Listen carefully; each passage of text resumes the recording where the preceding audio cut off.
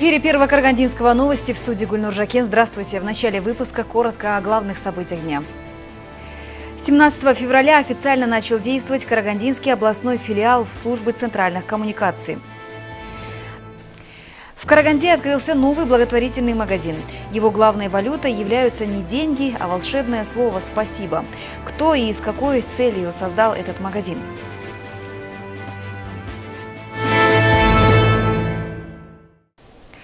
17 февраля официально начал действовать Карагандинский областной филиал службы центральных коммуникаций. Аким области Нурмухамед Абдибеков встретился с журналистами. Руководитель региона ответил на все интересующие корреспондентов вопросы. Побывали на пресс-конференции и наши коллеги. Подробнее расскажет Лариса Хусаинова. В прямом эфире Нурмухамбет Абдибеков рассказал все, что интересует не только журналистов, но и всех жителей. Аким области с легкостью отвечал на каверзные вопросы журналистов, например, об экономии денег. Нурмухамбет Канапиевич рассказал, как и на чем ему приходится экономить. из них не государство. Э, выбираю тоже, что подешевле можно купить. Что там скрывать. Обедать домой приезжаю, в рестораны никуда не хожу. Вечером в рестораны не выхожу никуда ужинаю, точнее, стараюсь сейчас не ужинать, говорят, что это еще и э, форма этого, поддерживать себя в тонусе. Ну, скажете, что там, прибедняется, что ли, вот осенью одел одну куртку, в ней всю зиму хожу, нету другой. Также многих интересовало строительство незаконченных объектов. Спортивный комплекс в Майкудуке обещают достроить в текущем году, а строительство бассейна в Абае пришлось остановить. Пока комплекс находится на начальной стадии. Для полного завершения и сдачи объекта не хватает бюджетных средств. Э, дополнительные затраты, но это надо делать. Вот эти мы как раз осенью решение приняли, что на это идем. Создадим в Майкудуке еще один такой общественный центр интересный. И э, там как раз и площадки открытые имеется в виду, с искусственным газоном надо будет делать футбольные. На это мы идем, поэтому сейчас вот завершается фаза корректировки проектно-сметной документации, и он проходит э, госэкспертизу. Э, так что в этом году э, думаем, что вместе с вами там будем радоваться за майку Луцев.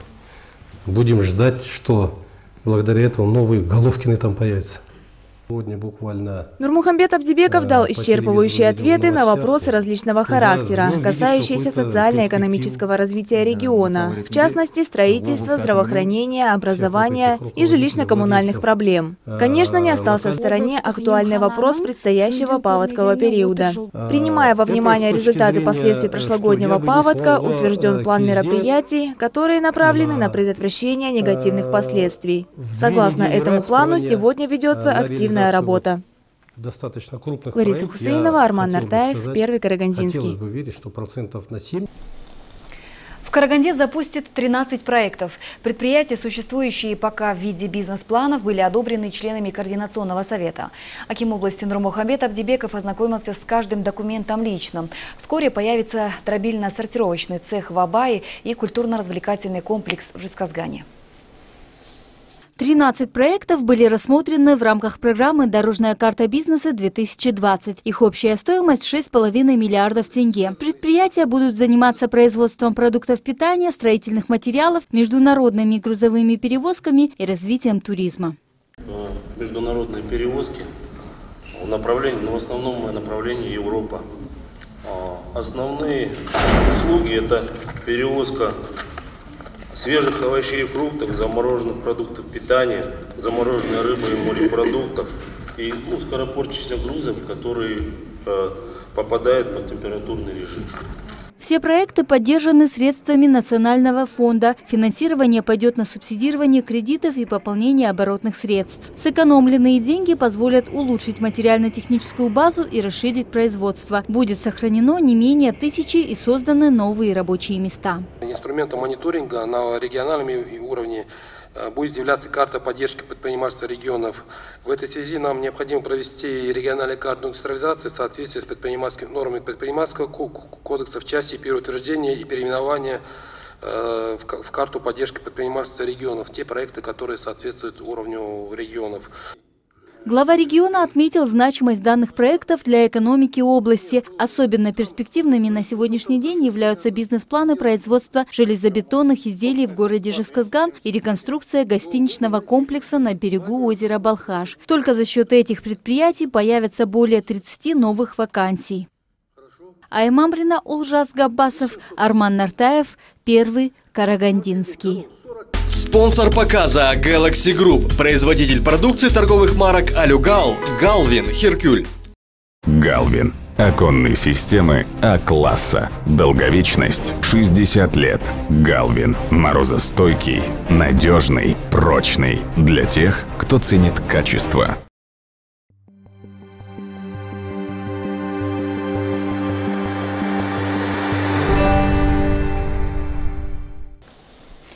К другим новостям. Спасибо. Это не только вежливое слово. В Караганде под таким названием работает благотворительный магазин. Многодетные и малообеспеченные семьи могут бесплатно получить там любой непродовольственный товар. Подробности далее. Ежедневно миллионы вещей покупаются и продаются. Нельзя не признать, что мы действительно живем в обществе потребления. Однако некоторые научились извлекать из этого отнюдь не финансовую выгоду. Сострадание побудило региональный совет деловых женщин Карагандинской области открыть благотворительный магазин «Спасибо». Это первая точка в Караганде, которая задумана не ради получения личной выгоды, а исключительно для помощи нуждающимся. Расплачиваться здесь будут не деньгами, а добрым словом. В обмен на волшебное «спасибо» многодетные и малообеспеченные семьи смогут приобрести обувь, одежду, игрушки и многое другое. Официального открытия магазина еще не было, однако магазин уже функционирует. Не в разрезании красной ленточки дело, заявляют организаторы. Эта программа поможет нашим горожанам объединиться. Есть такая уникальная возможность да, показать свое доброе сердце. Мы очень надеемся, что будет много откликов. Магазин уже функционирует, уже можно э, приносить вещи, если кто-то хочет э, помочь. И также, кому нужна помощь, может уже прийти и непосредственно как бы взять то, что ему нужно. Асия Исмуханова воспитывает семерых детей. Младшему два года, старшему будет 18. О своей жизни женщина рассказывает со слезами на глазах. Зарплаты не хватает, а детей поднимать нужно. В благотворительном магазине «Спасибо» женщина нашла все, что искала. Детишкам взяла вот футболочки, маечки. Ну, так-то сейчас все дорого, ничего не купишь.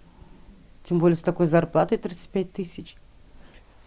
Хочу всем сказать спасибо, которые понимают и помогают. На территории Казахстана уже действует один такой магазин. Инициативу данного проекта выдвинули деловые женщины Семипалатинска. Караганда стала вторым городом. Возможно, эта идея пойдет и дальше по стране. Вещи в хорошем состоянии, которые вам больше не нужны, могут быть необходимы другим людям. Неравнодушных ждут по адресу Ермекова 3 с 11 до 16.00 в любой день, кроме понедельника и четверга. Екатерина Афанасьева, Исламбек Аспан, Арман Нартаев, Первый Карагандинский. Сегодня прием предпринимателей проводился повсеместно во всех региональных и территориальных филиалах партии Нурутан. Сейчас молодые предприниматели сталкиваются с проблемой построения правильного бизнеса. Мероприятие проводилось в рамках акции «Каспкерлерге Хамкор». Организаторами выступили ответственные сотрудники общественного штаба общественной приемной партии «Нуротан» и фонд «Дому». Главной задачей проведения акции являлось широкое информирование об условиях механизма реализации государственной программы «Дорожная карта бизнеса 2020». Учим их и э, даем консультации по составлению бизнес-планов, э, по э, значит, взаимодействию с финансовыми институтами, с банками, с фондом развития предпринимательства, э, с палатой предпринимателей. Консультировали начинающих бизнесменов представители банка второго уровня и фонд развития предпринимательства «Дому». Малика Кусинбаева, студентка Каргу имени Евнея Букетова, пришла сюда за помощью. С давних пор девушка мечтала о своем салоне красоты, но не знала, с чего начать реализацию бизнес-плана и как правильно подойти к делу. Я только долгое время думала, с чего начать и, и так далее. Сегодня мне дали консультацию, то, что здесь, что можно, как и с чего начать малый бизнес. С сегодняшнего дня буду действовать. Как известно, в 2014-2015 годах были внесены изменения по совершенствованию механизмов и условий в государственную программу «Дорожная карта бизнеса-2020». В нововведениях были предусмотрены обучение предпринимателей, составление бизнес-планов, расширение направлений сотрудничества и уменьшение нагрузки банковских условий. Асель Сазамбаева, Исламбек Успан, Арман Нартаев, Первый Карагандинский. Три мешка с тушами сайгаков обнаружили сотрудники ДПС в Нуринском районе. Автомобили УАЗ и Нива были остановлены в ходе рейдовых мероприятий. При досмотре машин были изъяты четыре ружья, патроны, туши и снегоход. Автомобили были задержаны на автодороге Соналы-Киевка. Внимание полицейских привлек прицеп, в котором и были обнаружены туши. Также в машинах были следы и жидкости, похожие на кровь животных. Факт браконьерства зарегистрировали в едином реестре досудебных расследований по статье «Незаконная охота». Правонарушителям грозит штраф в размере до 300 МРП, либо исправительной или общественной работы. Самая крайняя мера – арест до 75 суток с лишением права занимать определенные должности.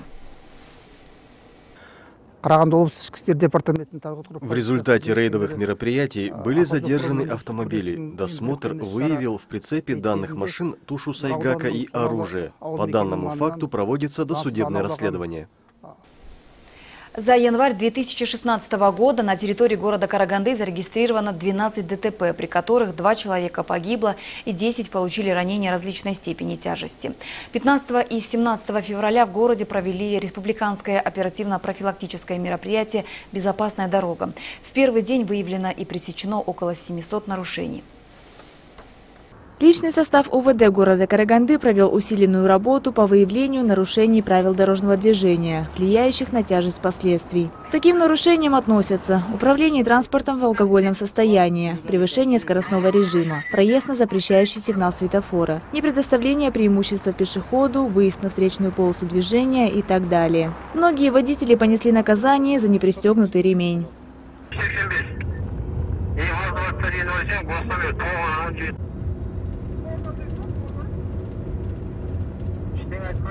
Также в ходе проведения мероприятия особое внимание уделено нарушениям со стороны водителей общественного транспорта. За январь 2016 года в городе Караганде у нас произошло снижение под, по количеству ДТП, это с 14 до 12.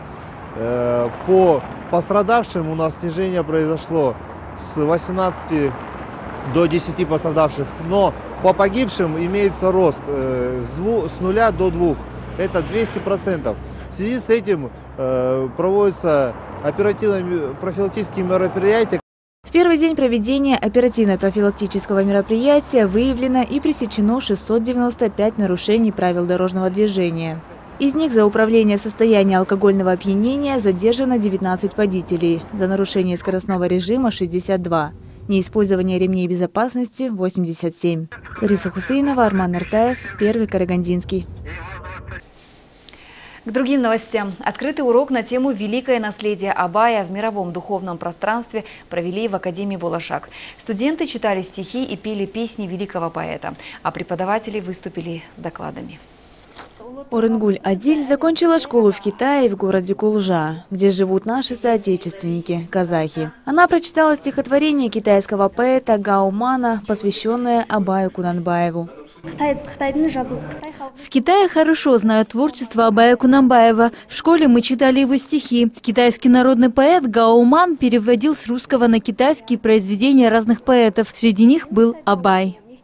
В Академии Булашак студенты развиваются не только профессионально, но и духовно. Примером тому открытый урок, на котором с докладом о философии Абая выступила кандидат философских наук Фарида Сатарова.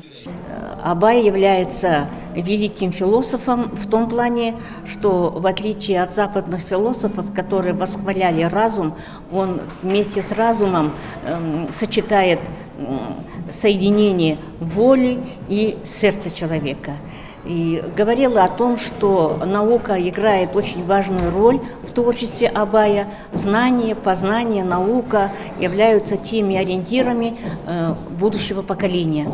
Абай Кунанбаев – великий просветитель. Его именем названы улицы в Египте, Индии, Германии, России и многих других странах.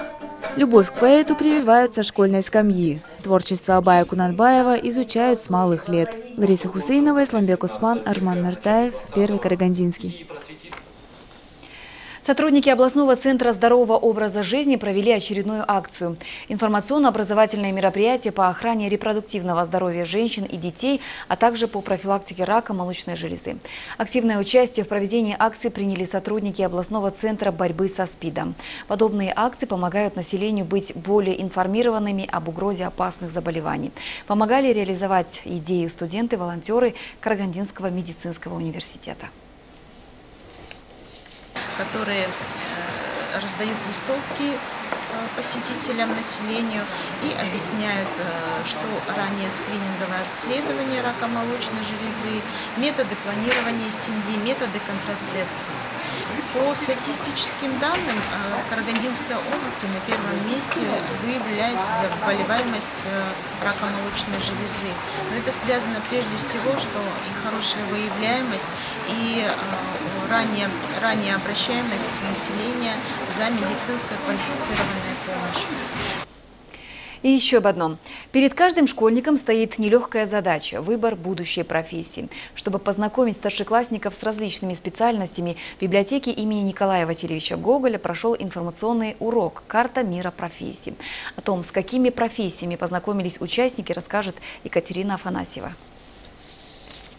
Карта мира профессий. Под таким названием прошел информационный урок в библиотеке имени Николая Васильевича Гоголя. Цель встречи – ознакомить школьников с многообразным миром профессий. В мероприятии приняли участие специалисты Управления образования Карагандинской области, Управления координации занятости и социальных программ, а также представители технических колледжей Караганды. Э, сегодня мы собрали учащуюся молодежь для того, чтобы рассказать о том, какие э, профессии наиболее актуальны для нашего региона. Валерия Якутович – ученица 9 класса средней школы номер 52. Любимый предмет девочки – алгебра. Цифры, графики, таблицы – все это вызывает восторг у школьницы. Потому-то Лера и выбрала для себя профессию бухгалтера. Последний год все свободное время посвящает подготовке к поступлению. Старшеклассница уверена – старания не напрасны. Не каждый знает о выборе, например, профессии, а если вот провести такую профориентацию, то можно выбрать профессию тем, кто еще не знает.